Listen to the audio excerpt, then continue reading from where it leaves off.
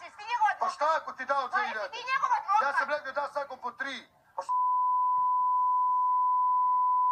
Pa šta? Ej, slušaj glupačko. Nemoj ti ja sedem na kičmu, pomećeš odavde preko ograde. Pa glumiš meni mafijašicu. Pritom svi su delili, znači kogod dobio 2007 mu jebe mate. Pa jesi ti on, ja imam poseban odnos sa njim, šta tebe briga Pa šta sad, što mu psuješ majku što ti dao 2000? Dobro, sad ću to njemu da kažem, jesam Pa tebi što? rekla? Ali jesam tebi Pa ima rekla? pravo da da koliko hoće. Pa jesam tebi sam rekao da da svima po 3000. Dobro, a jesam tebi sad rekla, jesi se bra... Ja tebe uopšte nisam pogledala, ti što si Ko si ti ovdje... da psuješ njemu A matere? ko sad si ti da mene Ko- komentarišeš? A ko si ti me, ti A si meni ko- to rekla?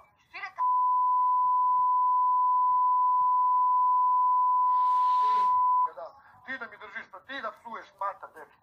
Sa ti da psuješ mater dečku. Nisam tebi Da tamo- obratila.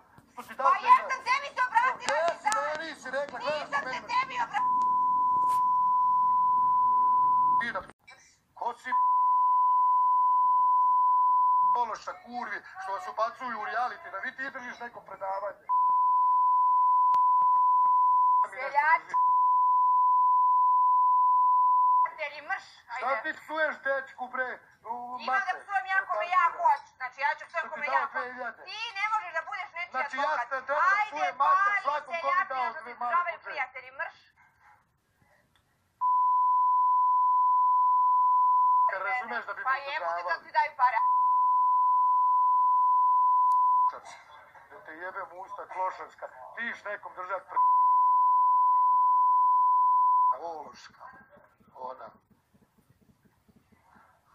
Retardiranu, ja sam rekao da podeli po tri, meni se obraća i kaže ovako, jebat ću mu mamu, ja... Ka, Ana, preko dečko je dao koliko je dao, šta ti njemu, šta, šta kogod mi da 2000 da mu psuje...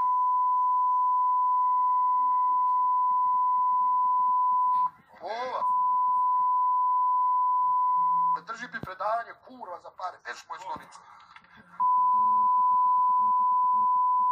Ovo, šta psuje sve više...